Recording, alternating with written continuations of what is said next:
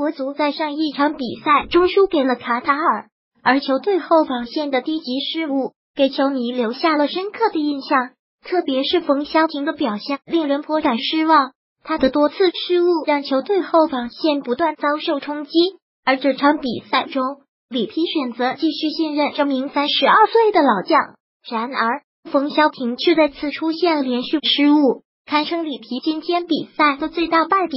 在这场比赛中，冯潇霆多次主动参与到进攻中，但是他在后防线的表现却仍然存在诸多漏洞。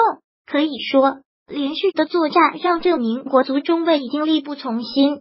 在下半场比赛第七十五分钟的时候，冯潇霆就在后场解围出现失误，险些酿成大祸。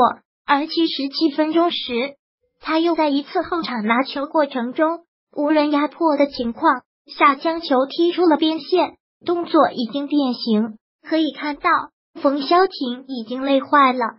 果不其然。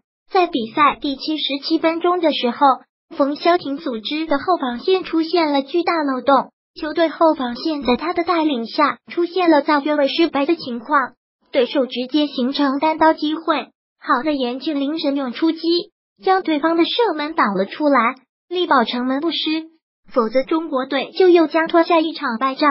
要知道，八连队这次进攻机会是全场最好的进球机会。比赛来到第八十八分钟的时候，冯潇霆在后场出现了玩火的情况。上一场比赛，冯潇霆就是在与卡塔尔的对决中多次出现后场的随意传球，导致后防出现问题。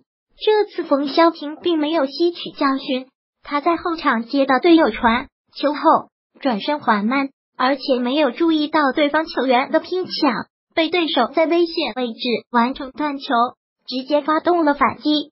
其实，在这场比赛中，冯潇霆还曾有过一次后场的长传球找吴磊，只可惜他的传球险些出了底线，让吴磊拼尽全力才将球救回来。很显然，这是一脚传球失误。